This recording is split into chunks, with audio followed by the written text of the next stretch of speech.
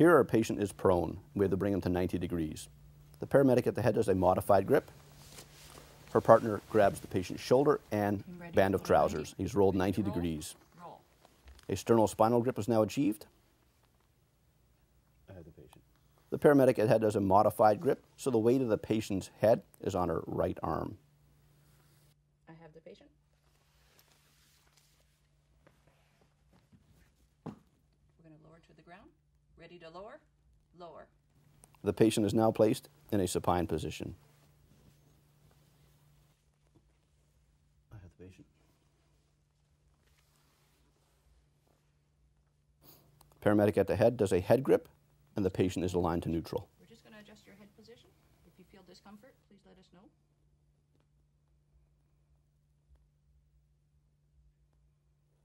A little tiny bit more. Good. Just back a little tiny bit to neutral. Excellent.